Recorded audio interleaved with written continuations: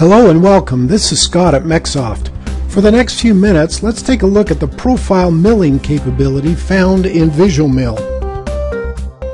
In this demo part, I'm going to create two simple profiling operations, one to clean up the diameter of this boss, and the second one to profile the walls of this main pocket. So to get started, I'll bring in the Machining Operations browser. You'll notice that I have already created some preliminary operations to face off the part and rough out the pockets. Before creating these new profiling operations, I want to predefine the geometry regions that will be used in the operations. To do this, I'll bring up the Objects browser and select the option to create regions.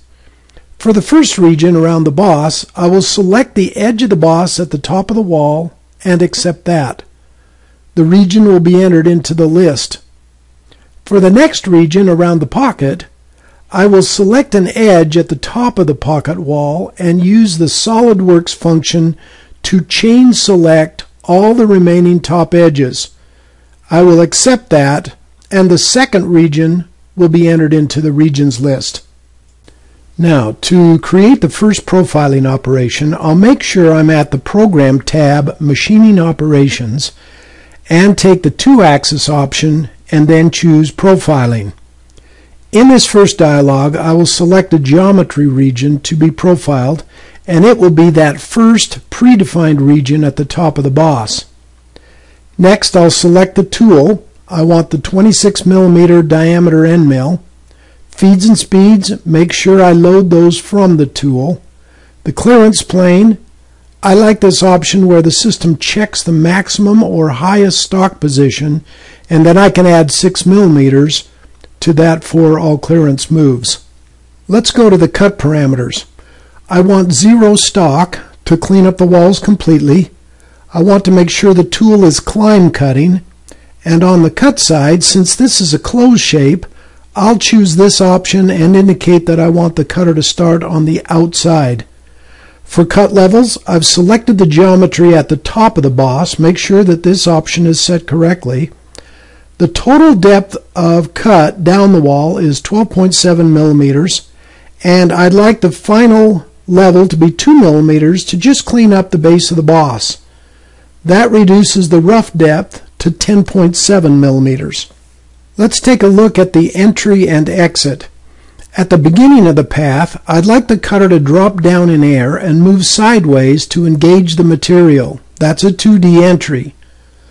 First, a linear move, then roll into the material at a radius of 8 millimeters.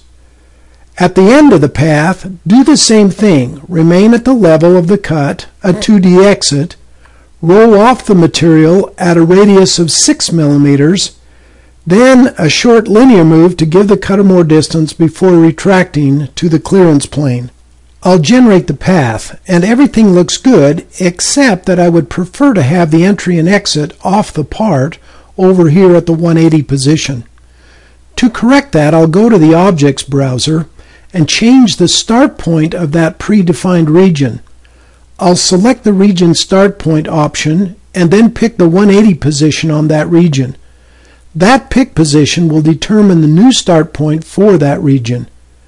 Notice that there is now a red flag on the profiling operation which tells you that the operation input parameters have changed and that the operation needs to be regenerated. So I will regenerate the operation and now you can see that the entry and exit are off the part as I wanted. Next, I'd like to profile the walls of this main pocket doing two passes, a semi-finish and a finish pass at full depth. But first I'm going to modify the start point to where I want it.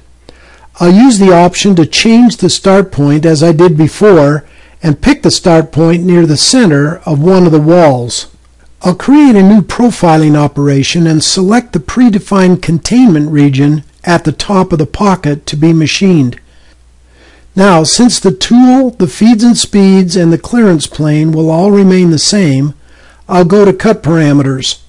Here I want the side stock to be zero on the final pass. Climb Cut, and since this is a closed region, I'll set the start point to be on the inside. To achieve two passes, I'll set the total cut width to be 1 millimeter and set each step to be 1 millimeter. Cut levels. I've selected the cut region to be at the top of the material to be removed. I don't know the full depth of cut, so I will use the analysis function to measure the height of the wall. I'll select the flat surface at the top of the wall and then select the flat floor at the bottom of the pocket. Now I will generate the path. Now I will simulate both paths and this will be the end of the demonstration. I hope this has been informative for you as you use the profile milling capabilities in VisualMill by MecSoft. Thank you.